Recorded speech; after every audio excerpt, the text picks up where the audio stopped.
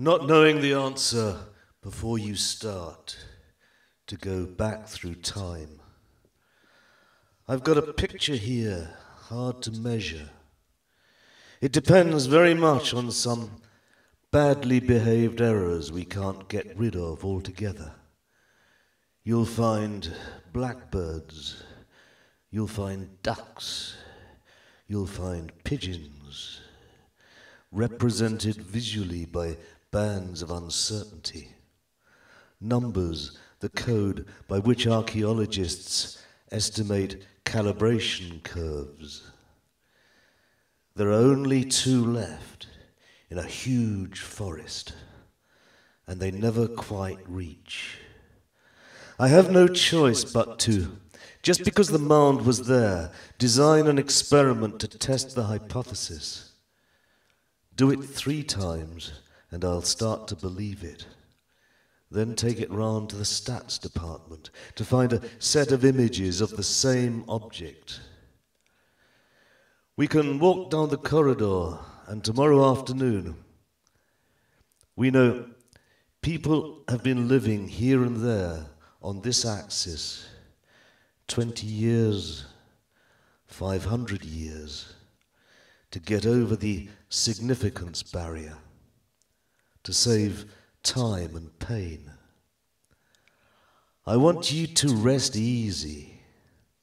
I make a lot of assumptions because they can sometimes, if you're lucky, cut a long story short.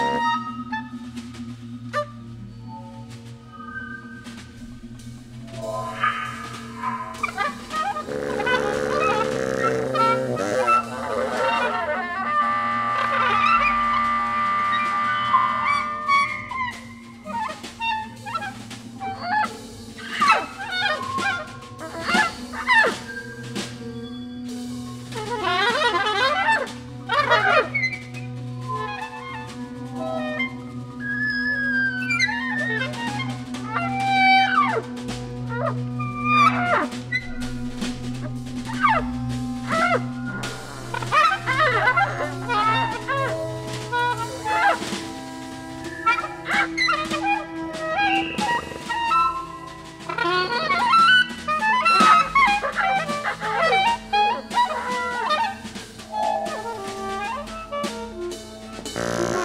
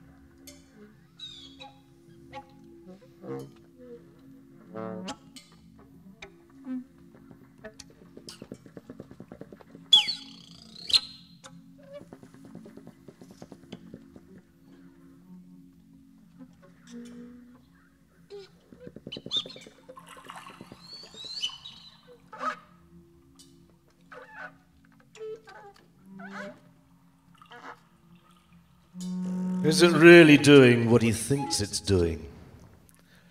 And can he tell you what to do with it? If we built a black hole, what would the experimentalists see? If it wasn't spinning, or if it was? Uncertainties can vary in size. We've only had one Earth, and there will always be unknowns. Let's play and draw cartoons. There's an unpredictability, a trade off in terms of the scatter between many assumptions and a few, making simpler or more complicated models.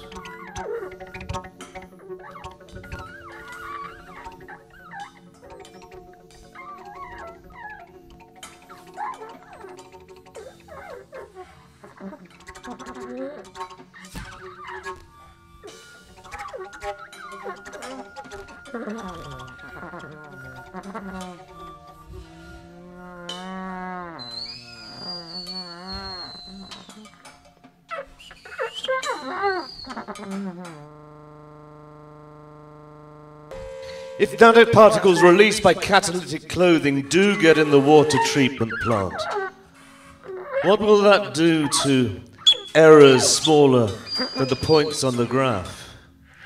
You don't know what's going on in between the first two or three bridges once you've put some text in. A mathematical forest with ridges in the middle. We can reverse engineer the most likely result, where it's involved in the public realm, to work out how much I trust a singular fit. This particular parameter, this inherent instability, this hardest part of the dialogue, the way ocean and climate interact. I could understand as a different simulation, male and female as conflict between pathogen and host, gene sequences long gone. The fibers are thinner than. When I say probably, inverted commas, I tried that and it didn't. Most of us tend to be less explicit about the well known meaningless chuck out of software in error bars at discrete points from global down to local. It isn't an admission of failure when you're looking at small changes in the input, variations which tend to be averaged out, solving physical equations of motion in the atmosphere. I wonder what happens if you have evidence for, but can't prove, there's a near identical corridor in one of its 500,000 iterations produced minutes later. What if I had more money? What if they're frightened by Prince Charles? What if we add this bit of molecule to that?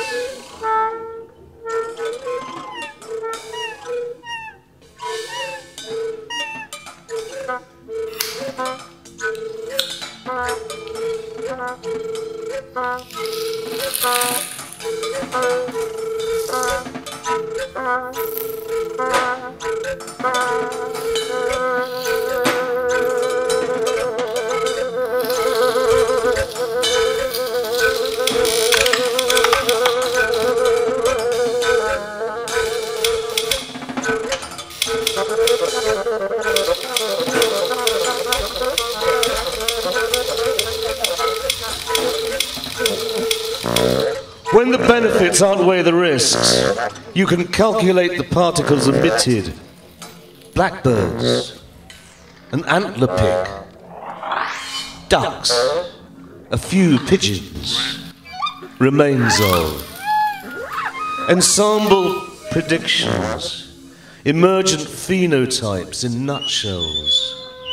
What happens first when polymers crystallize? That's a two way street, an observation orthogonal to current understanding. This field has been in flux for the last 10 years. You have a good feeling, but cannot measure both position and momentum. At the end, you can see the predictions, a highly non-linear model you had to change to deal with the variation this wiggly behavior in the distributions the stuff has anyway. However fine your dissection of the degree of interaction between the ice sheets remains of, you still don't know what's going on inside.